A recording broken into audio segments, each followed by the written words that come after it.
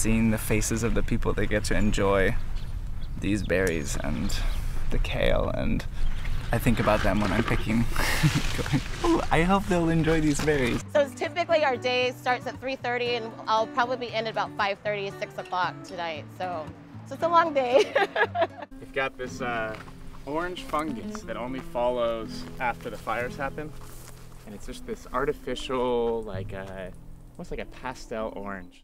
And citizen science is how we collect data about the natural world so that we can have better policies around how to protect it. The unsaturated zone is located directly beneath the land surface, and the pore spaces hold both air and water. In the saturated zone, all the open spaces are filled with water.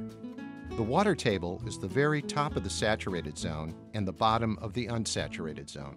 Ultimately, the microbes in the soil are doing better because of that biodiversity and creating an environment for all beings to thrive thousands of years later, we're still using these processes. And I think that's when you go back to buying that bread, loaf of bread in the store, we forgot where that came from. Not only can agriculture reduce its emissions, but it actually uniquely can store carbon, can pull carbon out of the atmosphere and put it in soil and in plants where we need it. You'd be amazed at the, at the size of the fish that we get here.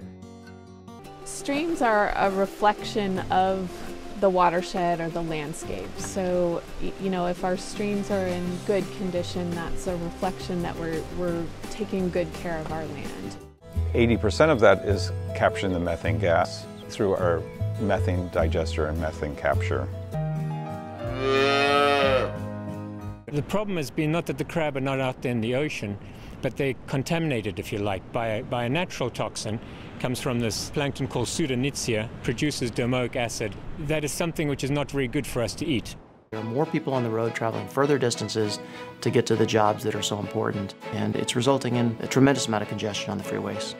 A significant development for our region, and that would be the electrification of Caltrain. This has been many long years in coming. So as you can see, down the tube, well over 150 feet, you can see crystal clear water that's naturally produced at Collector 6. The reason we call it unsustainable is that we can't keep doing this. You know, we're undermining the viability of our, our own food system.